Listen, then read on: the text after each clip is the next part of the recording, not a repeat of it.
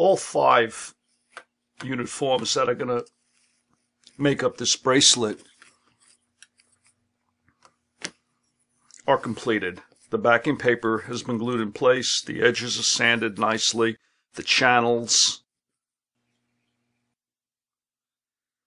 will eventually be melted out. I still have to apply the watercolor paper to the top. And you know what I'm talking about. You've seen me do it in previous videos. Actually, there's a lot of nice stuff going on the scrap paper I have laying around. I could use that.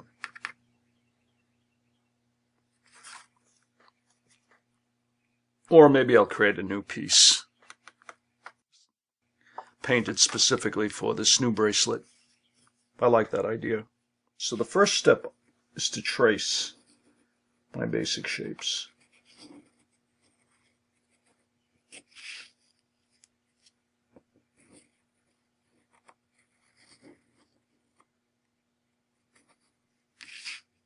I should mention that this is 140 pound watercolor paper, Arches watercolor paper.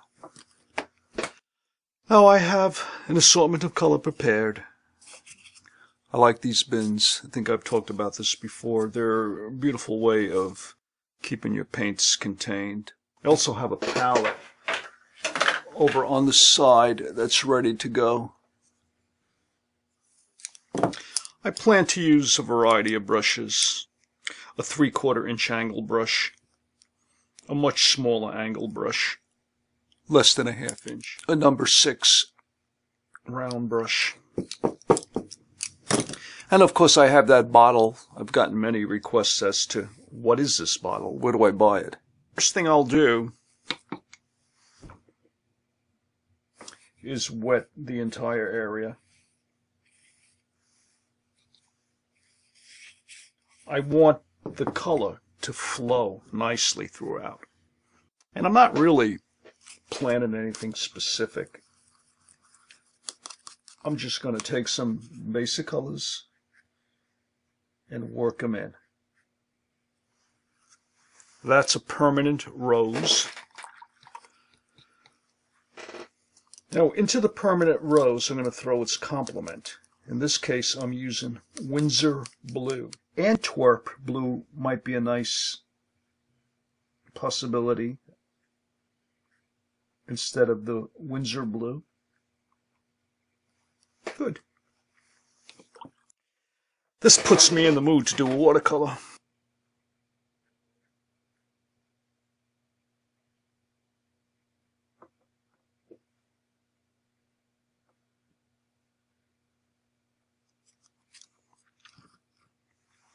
I want the paint to intermix on its own.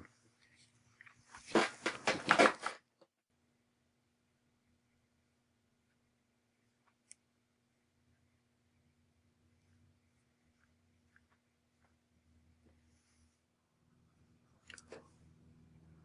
few little dabs of scarlet red thrown into this might be very effective. The point I need to make is I'm trying to achieve an abstract flow of color without directly mixing it on the paper with my brush. Mixing it on the paper with the brush will muddy the colors. Allowing them to flow naturally on their own and mingle will create very interesting color effects. As it begins to dry, I'm going to sprinkle a little bit of salt into it. As you can see, the watercolor is nice and dry now. The salt created all of these unusual effects. I like the natural color progressions that have happened on the paper. Very beautiful. See how the colors intermixed? I never actually added a mixed green but they mixed on the paper very beautifully.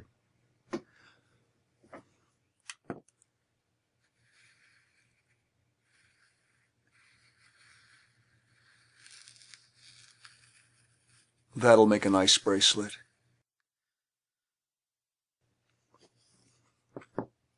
The next step is to cut out the individual pieces.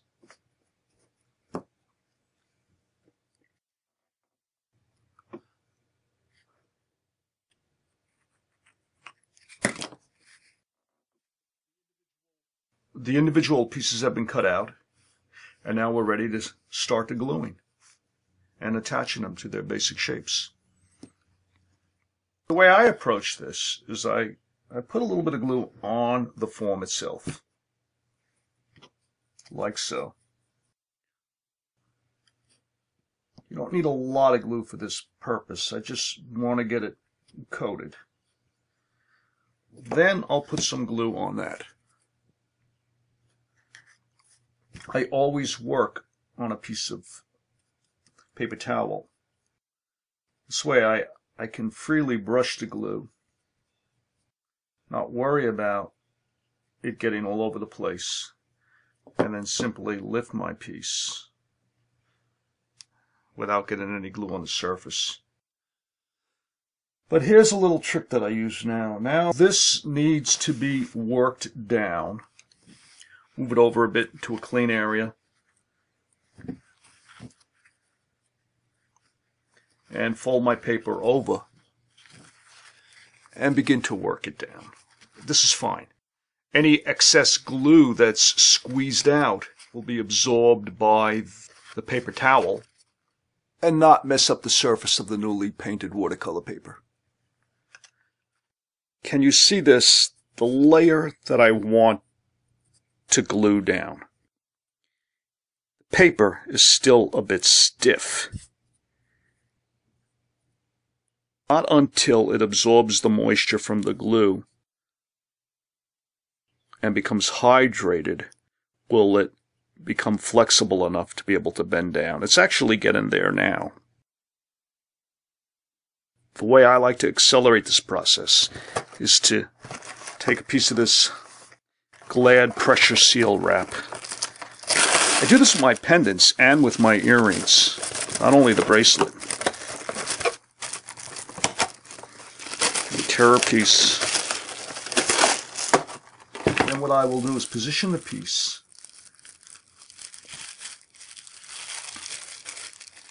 inside the wrap and continue to press it down. The advantage of this is I can see what I'm doing because the wrap is clear and since it's totally sealed the moisture level is going to increase in there. Paper is is going to soften nicely and with that on, in place I can effectively burnish it down without damaging the painting. So there's a lot of advantages to covering it with a piece of uh, Glad wrap. You can also see what you're doing, which is nice. That is nice. Well, I'm going to continue to do that with the remaining four. I'd like to just mention that when using this method of sealing it in glad wrap, don't leave it in too long only because this is so effective at hydrating the paper. Eventually, the watercolor will become wet, and you could lift some of the, the pigment up, reducing the strength of the colors. I've only had it sealed for maybe a minute, and I can tell the paper is thoroughly conformed to the unit form underneath. So I will take it out. Yeah, see some of the watercolor already came up? No big deal. But you don't want to leave it in too long and make it worse. All five pieces are, are glued in place now. And they're they're wet. They have to dry. Once again, we have a rough form. The top layer has to be integrated with the bottom layers. I really like what happened with the watercolor. It's going to be a nice bracelet. Now that the watercolor paper is glued in place and dry, I let it dry overnight. It's time to sand the edges in an effort to refine the shape. And what I just did is work the edges of this piece. This is finished. This just needs to have the, the paint added to the side and I can start to varnish it. But the edges now are nice and clean. You see here, they're still rough. One of the first things I do before I actually start sanding is I'll take a pair of scissors and cut off any overlap. All it is is a piece of paper, so it's easy to trim this way, a lot quicker than sanding. That's nice. Having done that, I'll continue to sand the edges with 120 grit sandpaper until I achieve a nice smooth surface where everything is even. All the pieces have been refined. The edges on each individual unit have been sanded down. I also took extra care to round the corners now what remains is to paint the edge. And here's how I like to do this.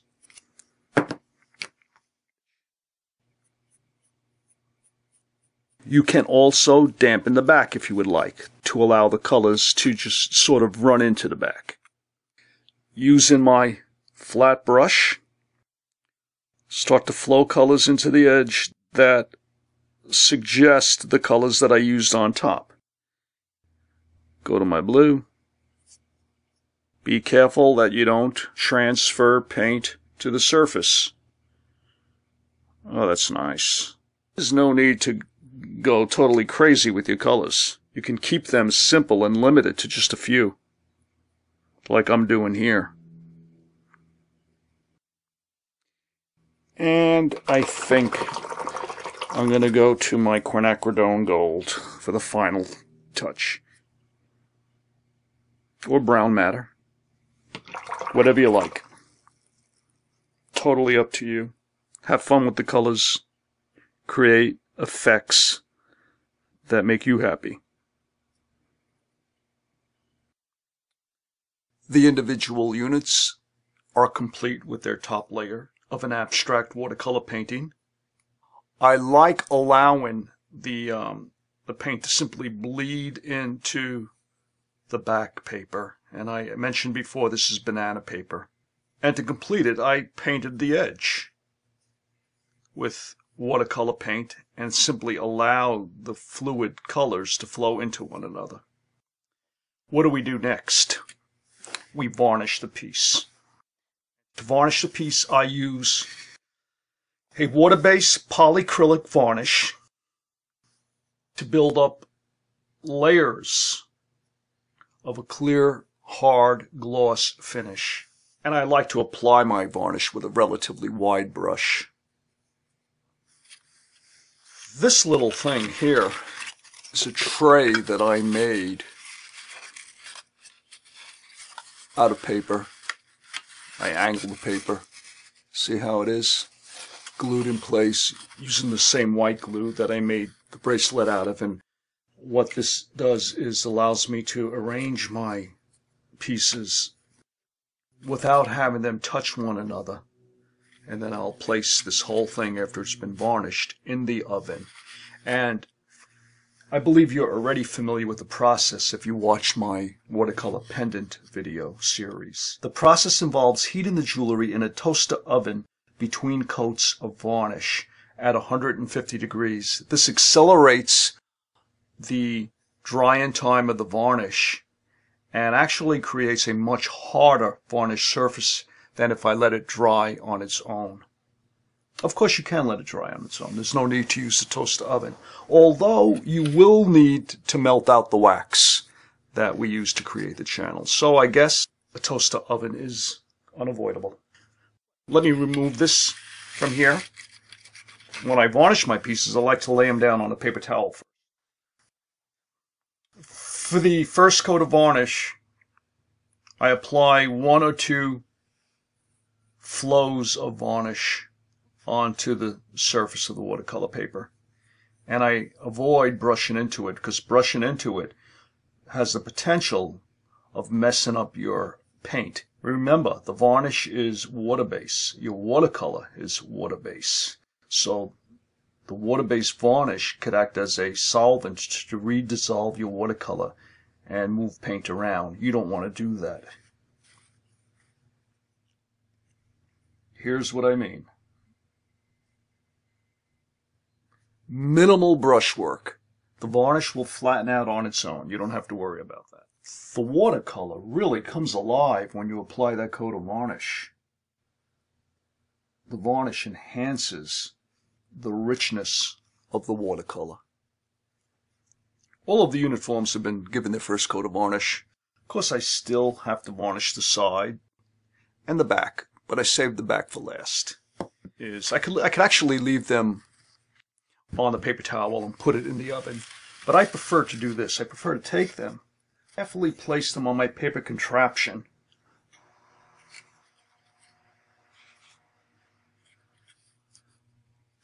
allow them to air dry for a few minutes until it's a nice matte surface, and then I'll place them in the oven, maybe 10 minutes at 150 degrees. No more than 150 degrees, because all I really want to do is accelerate the drying process to speed up the process of making the bracelet. I don't want to have to wait an hour between coats. I'd rather wait 15 minutes between coats. But I also don't want to melt out the wax at this point. So that's why I keep the temperature only at 100, 150 degrees. When it comes time to melt out the wax, I'll raise the temperature to around 200. Time to place it in the oven. After the first coat has been applied and it's been baked in the oven for at least 15 minutes, I take it out, let it cool down before I apply the second coat. But I should say that if you like the look of the pieces at this point, that's fine. Leave it alone. You don't have to build it up to a gloss finish. I do that because I like it. Sometimes I do prefer to keep it more satin and allow the texture of the paper to show through. So that's that's a personal call. You don't have to go crazy with the varnishing. These are looking good. I'm going to proceed to give it their second coat.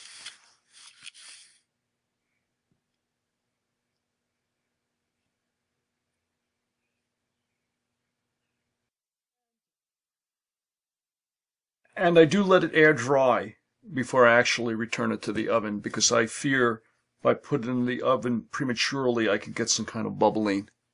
Maybe not, but I don't want to take a chance. I just took the second layer out of the oven. What do I look for to determine if it's dry?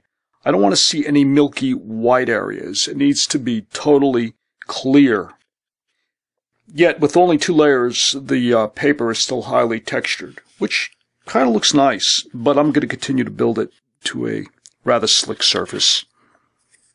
You might want to consider making yourself a tool to be able to hold on to these while you varnish them. What I'll often do is cut a length, and in this case, five lengths of nickel silver wire,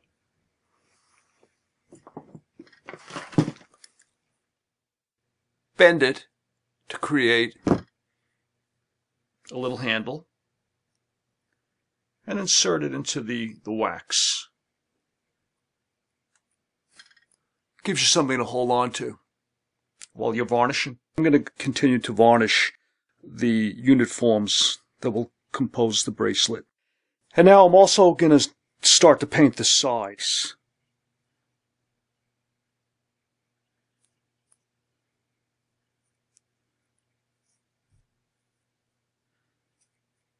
The primary objective behind varnishing is to make your watercolor paper jewelry waterproof.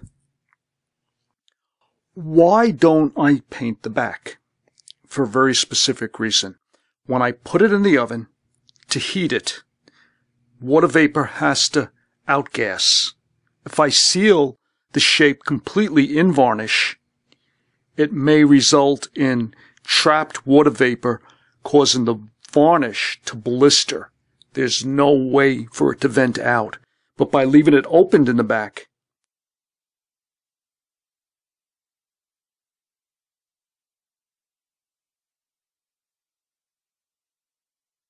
the water vapor can vent out.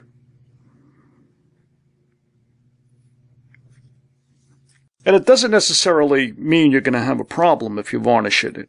I just very occasionally have run into that issue and noticed it happens when I varnish the entire thing. Of course, ultimately you do have to varnish the whole thing, but hopefully it'll be dehydrated enough by that time. And since you're only applying a light coat on the back, it won't cause any bubbling or blistering.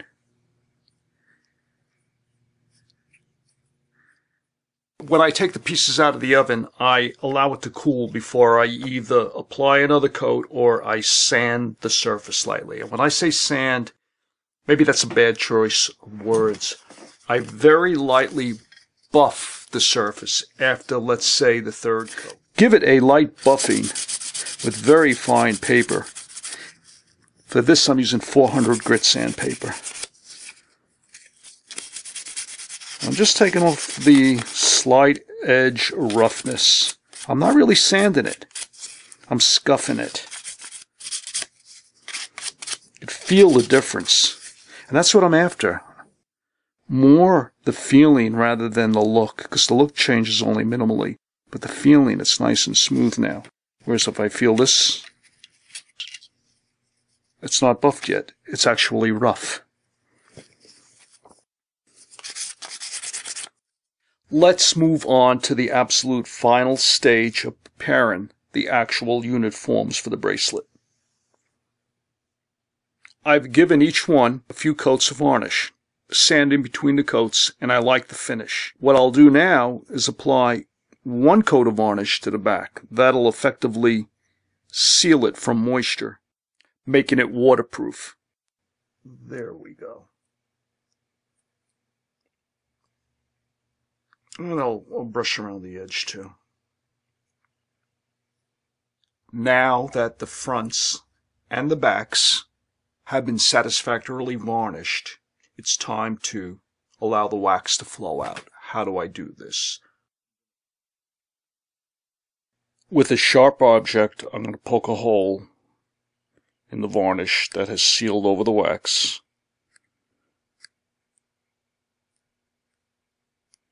Careful not to damage anything.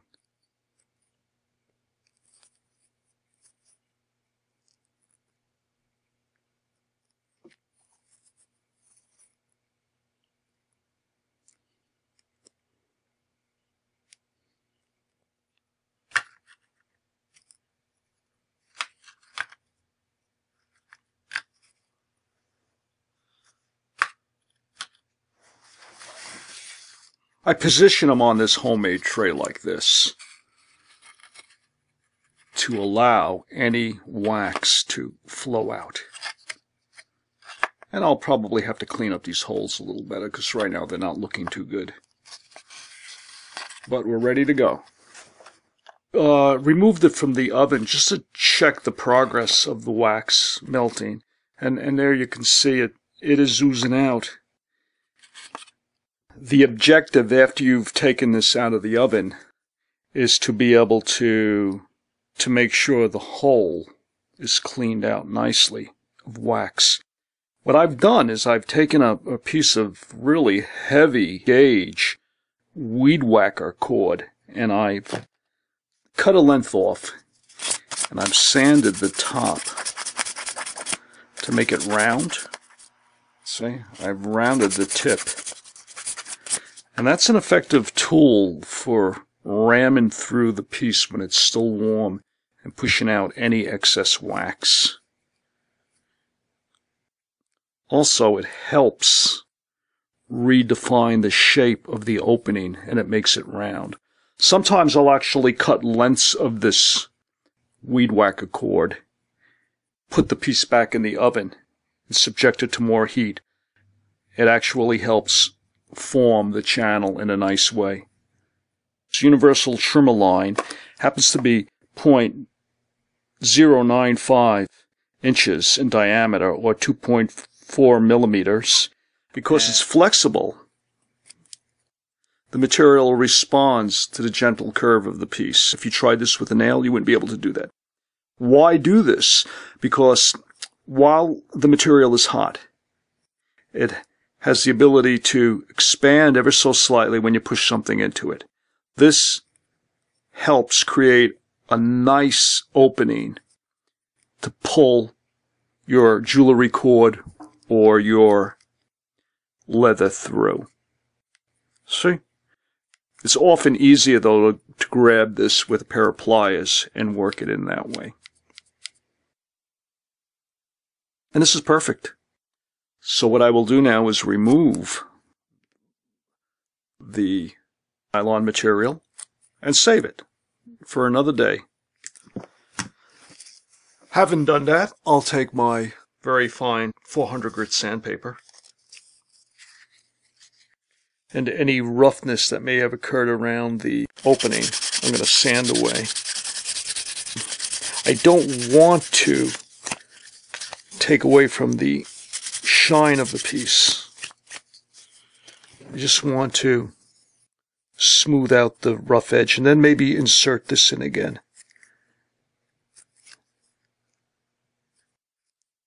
Yeah, have a nice round opening now. See that? That's perfect.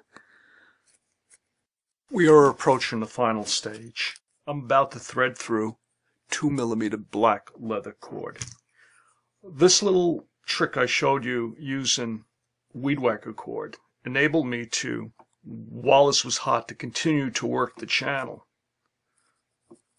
and make it nice and wide. It's the diameter now of this weed whacker cord that is slightly larger than the diameter of this material.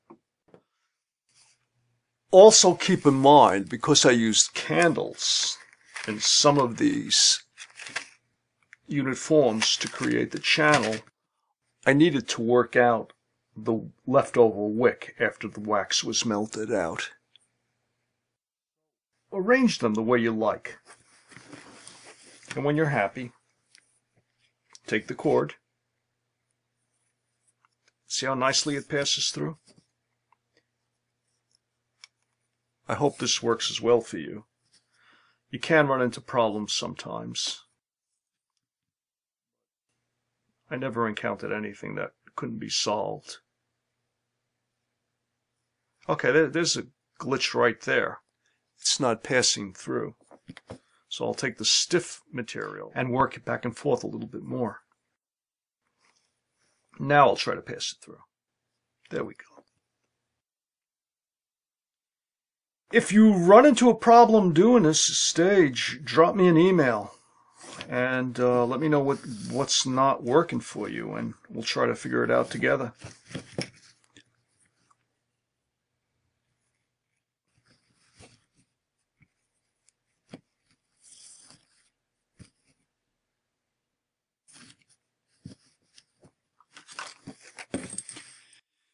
If we measure out the length of this, it's 8 inches, almost 8 inches from end to end, 7 and 3 quarter.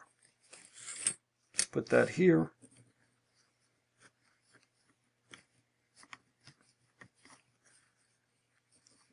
I'll cut a length of bamboo.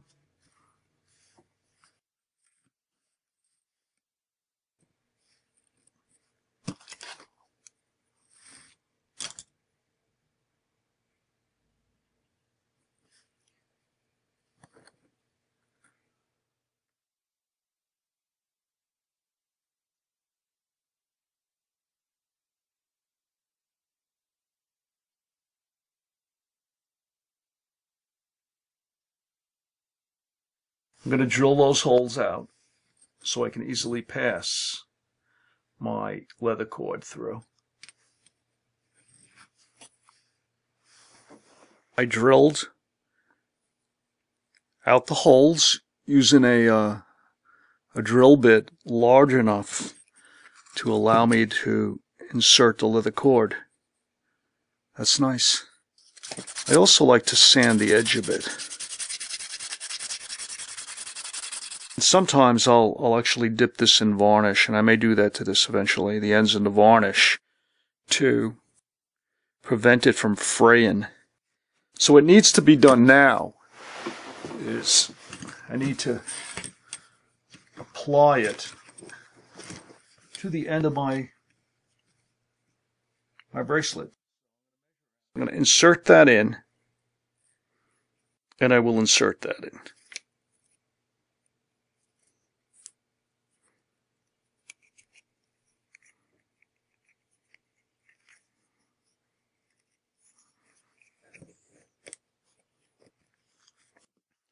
Now, what I want to do on the end here, I said I'm going to go a little fancier.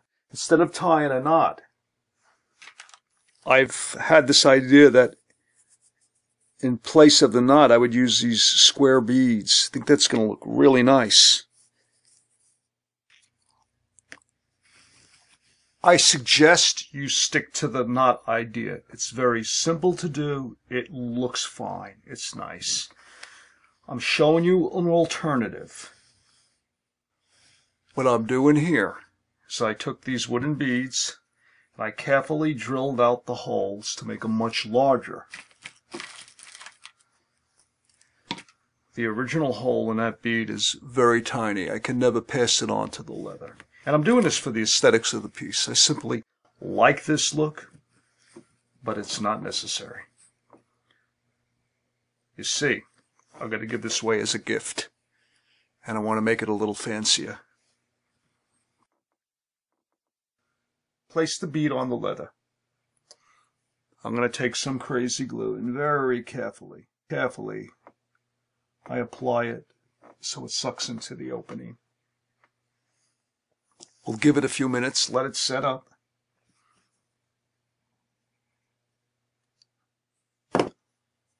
Apply a dot of crazy glue to the other bead. Yes. And as I see it suck in, I apply a little bit more. The capillary action pulls it right in.